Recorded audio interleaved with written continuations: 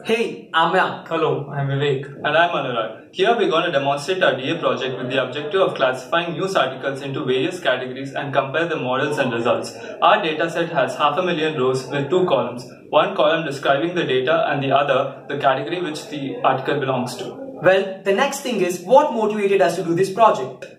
Well, proper summarization and indexing are very important in effective search and retrieval. With ever-growing amount of data, it becomes absolutely necessary to categorize the data. So here we are dealing with text categorization. Switching on to the challenges. Well, the initial challenge was to collect the data. Having found a suitable data set which meets our requirement, the next big thing was pre-processing it and encoding it into a suitable form. The Initial step which we took was pre-processing the dataset, which involves removing stop words, punctuation, removing extra white spaces, tokenizing the articles.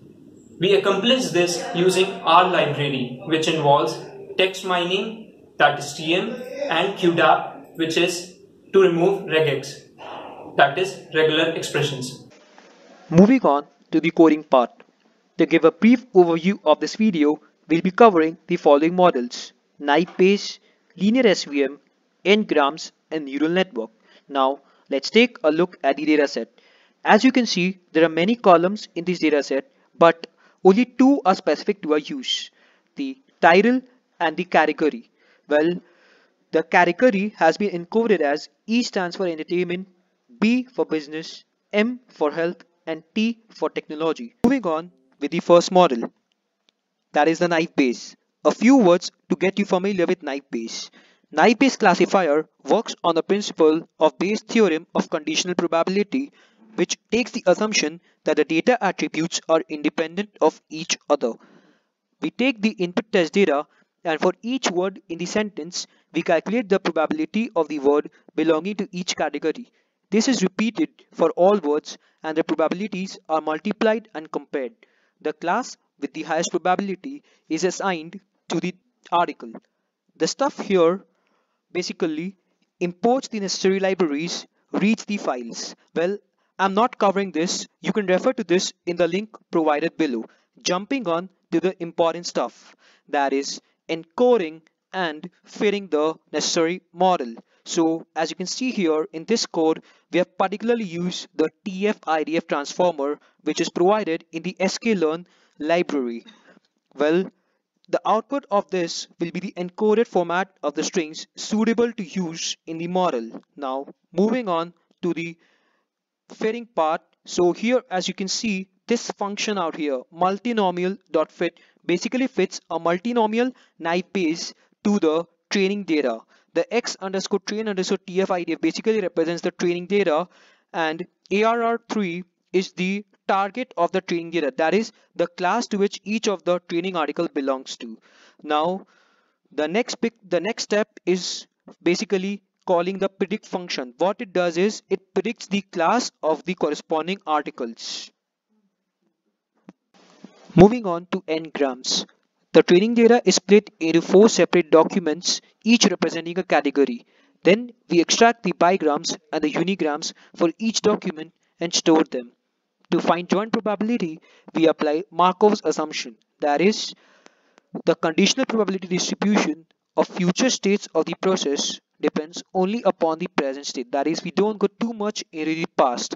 The code out here demonstrates the same. We are extracting the unigrams, the bigrams, and calculating the probability as the count of the bigram divided by the count of the unigram and doing repeating the same for each document and assigning the document to the class with the highest probability.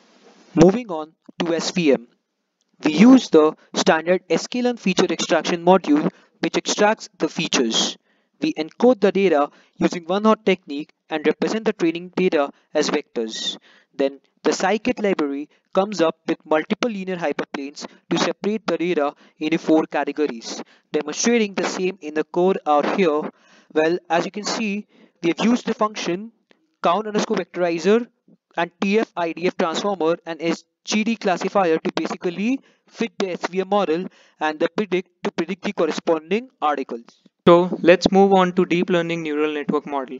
Basically what we are doing here is getting all the text into a variable called text and labels into a label variable and then converting the label into categories that is one hot encoding of the label using to categorical function of Keras. Now let's move on to our model which is being defined here which consists of two hidden layers with each consisting of 64 nodes with activation function ReLU with input size of 10,000 dimensions.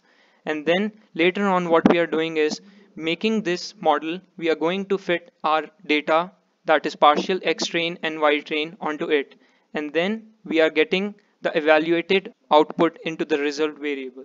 Moving on to the result section, the accuracies are as follows. Naive Bayes and SVM around 30%, N-grams 90% and neural networks around 85%. Well, the preferred model in this case would be neural network as n-grams is not guaranteed to perform well in all the cases due to the long distance dependencies.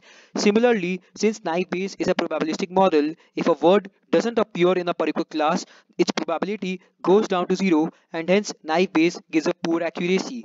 SVM relies on the distance relationships and hence it justifies its poor accuracy.